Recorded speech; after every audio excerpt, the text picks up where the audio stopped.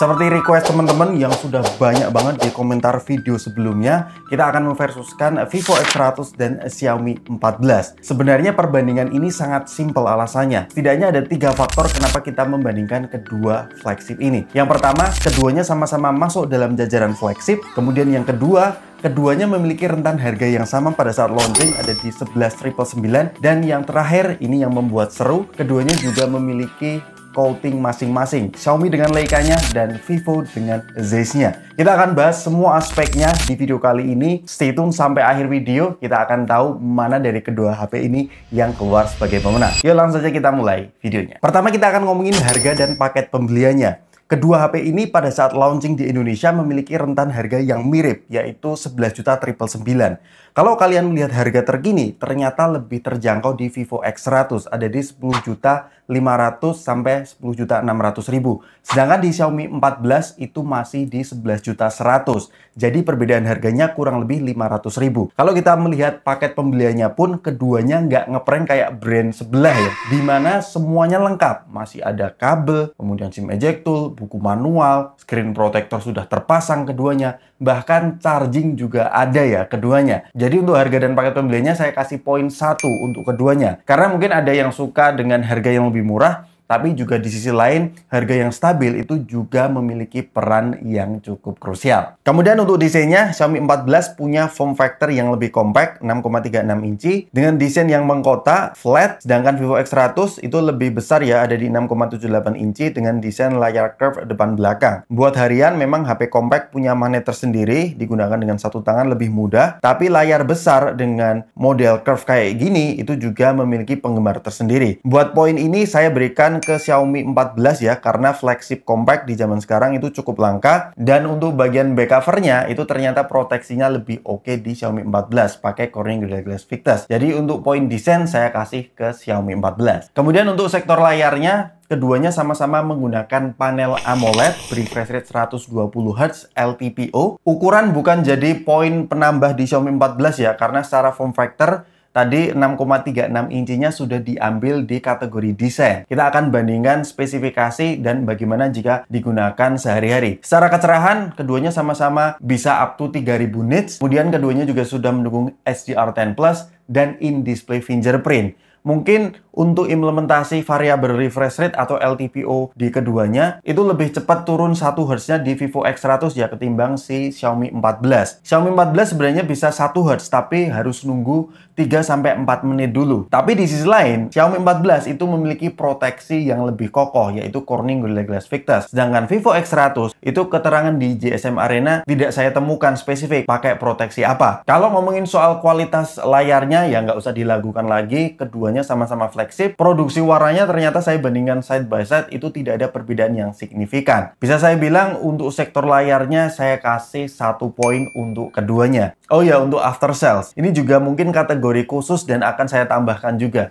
Di mana Vivo X Series itu garansinya satu tahun, tapi khusus untuk layar X Series itu garansinya 4 tahun. Ini GG banget. Apabila layar AMOLED memiliki penyakit green line atau garis hijau, di Vivo ini udah nggak perlu khawatir. Buat Xiaomi garansi smartphone-nya secara keseluruhan sebenarnya lebih lama ada di 24 bulan, tapi secara layar itu tidak selama di Vivo X series. Jadi untuk after sales ini saya kasih setengah poin untuk Xiaomi 14 dan satu poin untuk Vivo. Kemudian untuk fitur-fiturnya kita akan bahas kesamanya dulu ya. Keduanya sama-sama mendukung NFC, IP rating juga ada keduanya IP68. Kemudian secara haptic feedback sedikit lebih tajam di Xiaomi 14, tapi stereo speaker ini tipis-tipis ya. Xiaomi 14 itu memiliki fitur Dolby Atmos yang mana secara volume itu lebih lantang, tapi secara karakter suara itu lebih bulat di Vivo X100.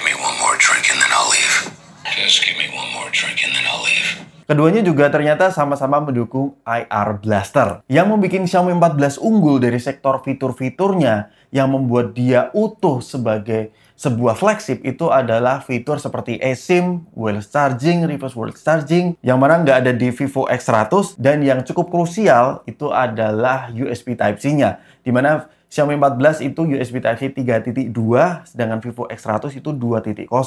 Artinya kalau teman-teman mau menghubungkan ke external monitor itu bisa di Xiaomi 14 tapi tidak bisa di Vivo X100. Jadi untuk fitur-fiturnya hands down Xiaomi 14. Sejauh ini apabila kalian puas dengan perbandingannya, langsung saja hit tombol subscribe agar bisa mendapatkan konten-konten berkualitas kayak gini. Lanjut. Kemudian untuk spesifikasi dan performanya kita bahas chipsetnya dulu. Sebenarnya keduanya sama-sama masuk dalam jajaran flagship, cuman beda pabrikannya ya. Di mana Vivo X100 menggunakan Dimensity 9300, sedangkan Xiaomi 14 itu pakai Snapdragon X Gen 3. Untungnya yang dijual di Indonesia variannya juga sama, 12 per 256 GB, sama-sama pakai LPDDR5X, UFS 4.0, tapi baterainya sedikit ada perbedaan. Ya wajar lah, Xiaomi 14 ukurannya lebih kecil. Bagi kalian yang mendewakan sebuah benchmark, ya kita akan uji satu persatu, di mana Antutunya itu ternyata lebih besar di Vivo X100 ya, tembus 2 juta lebih. Sedangkan di Xiaomi 14 itu ada di 1,8 juta. Itu pun sudah saya pakai pakai mode performance. Kemudian untuk Geekbench 6, ternyata secara single core mirip-mirip ada di 2000-an, tapi multi-core-nya lagi-lagi raw performance di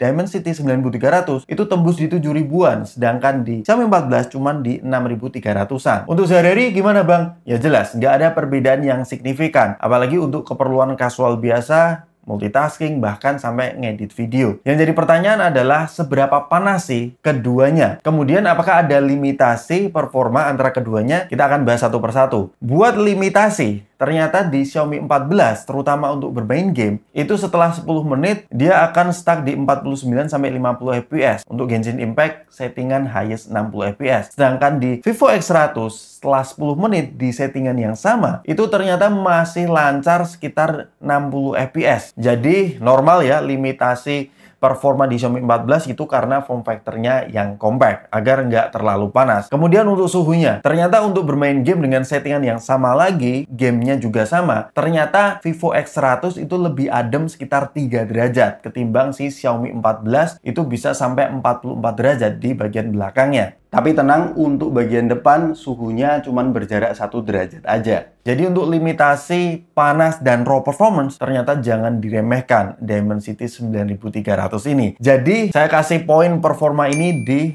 Vivo X100. Kemudian untuk sektor baterainya, secara kapasitas memang ada perbedaan. Ternyata pada saat saya tes untuk penggunaan sehari-hari, itu ternyata sama-sama 6,5 jam ya SOT-nya untuk pemakaian standar. Bahkan kemarin pada saat saya menguji uh, kameranya antara kedua HP ini, saya mulai dari jam 8 pagi, saya set sama-sama di airplane mode, sampai jam setengah 12 siang dengan pengujian intensitas kamera yang sama ternyata masih berjarak satu persen. Jadi menurut saya untuk ketahanan baterainya ya keduanya ternyata cukup seimbang. Mungkin yang membuat Vivo X100 sedikit lebih unggul itu adalah kecepatan chargingnya ada di 120 watt ketimbang si Xiaomi 14 itu ada di 90 watt. Tapi tetap saya cukup apresiasi di Vivo X100 karena charging speednya lebih cepat. Jadi untuk poin baterai ini saya kasih satu poin untuk Vivo, setengah poin untuk Xiaomi 14 karena sama-sama awet. Kemudian untuk sektor softwarenya, keduanya memiliki UI masing-masing, HyperOS untuk Xiaomi, Vantage OS untuk Vivo. Untungnya keduanya juga sama-sama menggunakan Android ke-14, tapi untuk updatean terbaru ternyata justru Xiaomi lah yang sudah update di bulan ini ya, bulan Juli, sedangkan Vivo X100 itu masih di bulan Juni. Buat update softwarenya sendiri, sebenarnya Xiaomi ini lebih panjang satu tahun, ada di 4 tahun untuk versi Android, kemudian security patch-nya 5 tahun. Kacek satu tahun aja ya dengan Vivo X100. Ini mungkin bukan hal yang deal breaker, yang membuat saya saya kasih poin di Xiaomi 14 untuk softwarenya itu adalah fitur-fitur AI-nya. Seperti AI Magic Eraser Pro, meskipun di Vivo ada, tapi eraser di Vivo itu eraser biasa. Ini jauh banget dengan Magic Eraser Pro-nya di Xiaomi. Kemudian ada AI yang lain seperti AI Subtitle, AI Ekspansi, dan AI Zoom. Sudah saya bahas di video full review-nya Xiaomi 14 di kiri atas ini. Karena ada fitur AI-nya ini, ini membuat software Xiaomi 14 lebih menarik ketimbang si Vivo X100. Jadi dengan dengan berat hati, meskipun banyak yang ngehit uh, Hyper OS dari Xiaomi, saya kasih poin untuk Xiaomi 14 dari sektor softwarenya. Kemudian untuk sektor kameranya, secara spesifikasi kalian bisa melihat sendiri. Keduanya sama-sama merata di kamera belakangnya, bahkan di Vivo X100 itu telefotonya ada di 64 megapiksel. Buat selfie-nya juga sama-sama di 32 megapiksel ya. Tapi sebelum kita bahas, saya sudah membersihkan lensa terlebih dahulu ya, agar hasilnya lebih maksimal. Kemudian yang selanjutnya, keduanya memiliki signaturnya sendiri. Xiaomi dengan Leica Authentic dan Vibrant, Sedangkan Vivo X100 itu dengan Zeiss Vibrant, tekstur, dan Zeiss Natural. Jika keduanya saya pakai sama-sama mode Vibrant, Vivo itu terlalu tinggi saturasinya. Mungkin terlihat enak di mata atau di post di sosial media, tapi kesannya kurang begitu natural. Jadi saya memilih Zeiss Natural aja untuk bisa head to head dengan Leica autentiknya di Xiaomi 14. Gimana? Udah siap perbandingannya? Kita mulai dari kamera ultrawide-nya terlebih dahulu. Keduanya sebenarnya sama-sama bagus. Sudut pandang pandang di ultrawide di Xiaomi ternyata lebih lebar 1 mm ketimbang Vivo. Karakter Vivo itu biasanya di bagian shadow itu mencoba diterangkan, sedangkan Xiaomi itu dibiarkan gelap. Tapi kalau kita pixel peep, detailnya masih lebih bagus di Vivo X100. Kemudian untuk kondisi malam, ultrawide-nya bisa dibilang bersaing. Tapi kalau teman-teman suka mengambil foto sinematik seperti sunset atau sunrise, saya lebih condong looks-nya di Vivo X100. Dan yang bikin ultrawide-nya di Vivo X100 ini unggul, ternyata ada uh, autofokusnya ya. Sedangkan di Xiaomi 14 itu tidak ada autofokusnya. Kemudian untuk kamera utamanya, ini lebih kompetitif dibandingkan dengan kamera ultrawide tadi. Karakternya masih sama, shadow-nya itu dibiarkan di Xiaomi, kemudian di Vivo itu sebaliknya. Untuk foto-foto seperti daun, itu Xiaomi cenderung lebih natural. Vivo lebih postable aja sih. Ini masalah selera lagi-lagi. Kalau pengen sama-sama postable di sosial media, ya langsung saja kalian bisa pakai mode mode vibrant. Buat skin tone, keduanya comparable. Agak sulit ya saya memenangkan antara keduanya untuk kamera utamanya ini, tapi saya push kemampuan maksimalnya. Salah satunya adalah scene sunset dan sunrise. Lagi-lagi saya lebih suka looksnya di Vivo X100. Kemudian untuk kamera telefotonya sama-sama ada di tiga kali, tapi di Xiaomi 14 ada di 3,2 kali. Untuk hasilnya keduanya sama-sama bagus, bahkan keduanya juga merangkap sebagai kamera telemakro. Dan hasilnya sama sama-sama detail juga ya. Kalau ngomongin soal potensi zoom, ternyata untuk zoom dua kali ini masih kurang begitu terlihat. Walaupun kalau kita pixel peep ternyata sedikit lebih detail di Vivo X100. Di lima kali masih comparable, tapi kalau sudah menyentuh di 10 kali, ternyata processing Vivo itu lebih matang, alias lebih tajam ketimbang Xiaomi 14. Kalau sudah 15 kali digital zoom, udah ngawau ya Vivo X100 ini. Tapi kalau sudah zoom sampai 20 kali, karena Xiaomi 14 ada AI zoom,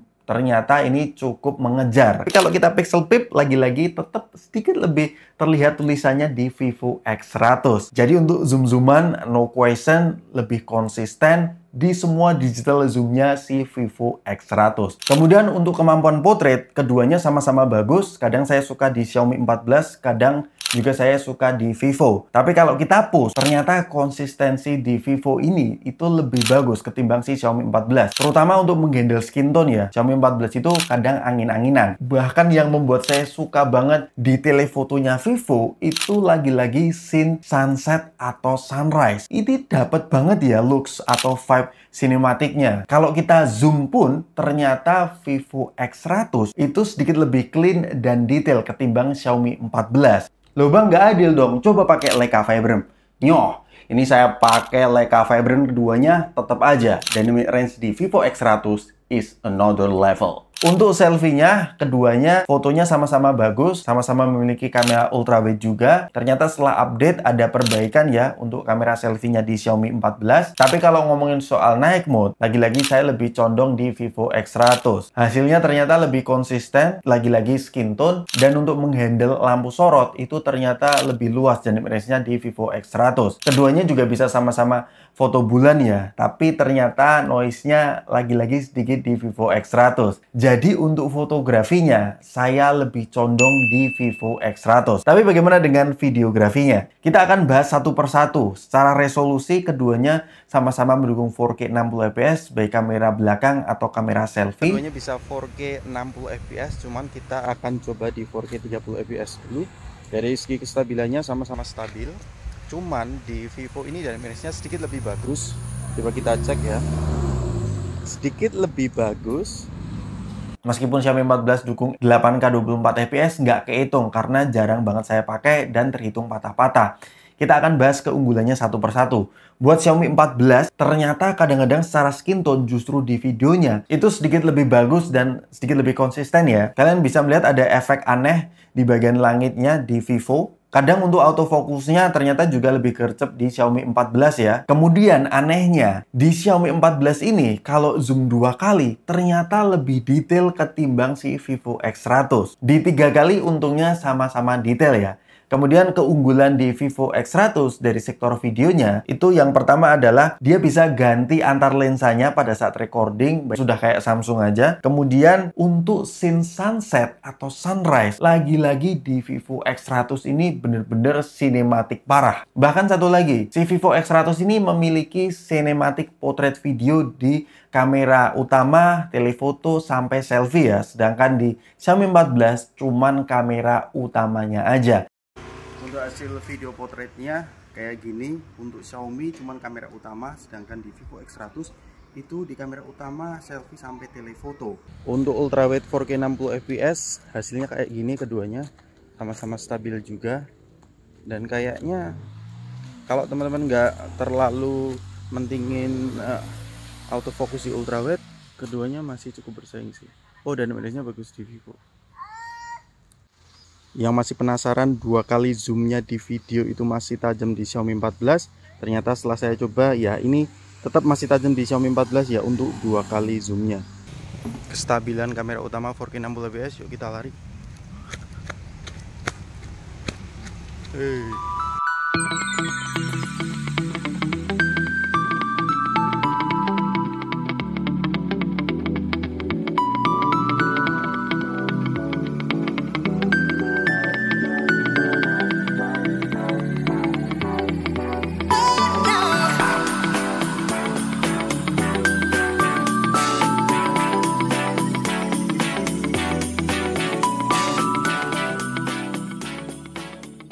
Dan bagi kalian yang penasaran dengan hasil IG story antara kedua smartphone ini, saya sudah membuat highlightnya di Instagram kami at Gadget. Tapi setelah saya post direct atau langsung dari aplikasi Instagramnya, ternyata lebih oke okay di Xiaomi 14 ya ketimbang si Vivo X100.